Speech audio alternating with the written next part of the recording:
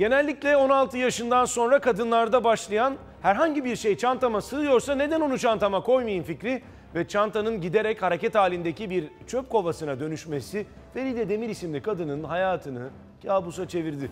Evin önüne geldiğinde kapının anahtarını asgari 12 dakikada bulabilen Feride Demir, fermuarı açık haldeyken çantasına düşen kedisini kurtarmak için yetkililerden yardım istedi.